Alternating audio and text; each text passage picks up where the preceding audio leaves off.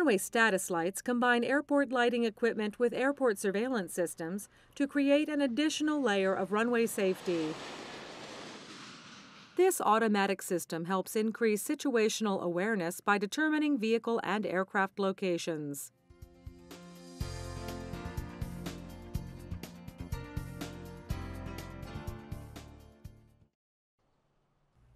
Red in-pavement lights illuminate when it's not safe to enter, cross, or begin takeoff on a runway.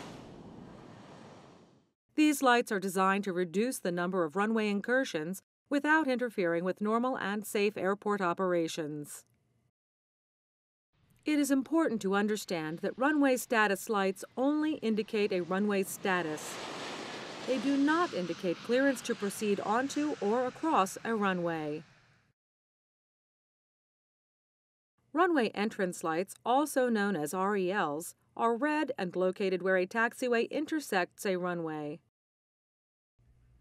RELs illuminate when an aircraft is landing or taking off on a runway. The red lights indicate it is not safe to enter the runway environment. RELs go off just prior to the aircraft reaching the taxiway intersection. This allows air traffic controllers to use anticipated separation and keep the normal flow of traffic moving on the airport surface. Pilots must stop at the runway hold line and remain stopped when the RELs are on. You should remain clear of the runway anytime the RELs are illuminated. When the air traffic control tower issues a clearance to cross or proceed onto the runway, the entrance lights should not be illuminated or should go out by the time the controller finishes their transmission. Do not enter a runway without an ATC clearance, even if the entrance lights have gone out. Runway status lights only visually verify a controller's clearance. They do not act as a substitute for an ATC clearance. There may be times while waiting for a controller's clearance that you see the entrance lights turn on and off for several cycles. If an air traffic controller gives a clearance and the RELs are illuminated, do not cross over the red lights. Contact ATC and advise that you are stopped due to red lights. If your aircraft is already across the runway hold line when the lights illuminate, you should proceed using your best judgment and contact ATC as soon as possible.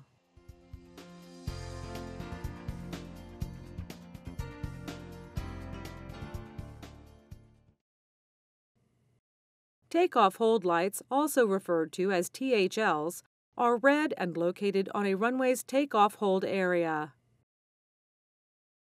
THLs are illuminated when an aircraft is in position on a runway's takeoff hold area and an aircraft or vehicle is on the runway somewhere in front of it. THLs turn off when the aircraft or vehicle is exiting the runway and is no longer a hazard to the departing aircraft. Like RELs, THLs indicate runway status. They do not substitute for an ATC clearance. You must wait for an ATC clearance to begin a takeoff roll. It is possible that you may observe several cycles of THLs while numerous aircraft or vehicles cross the runway downfield.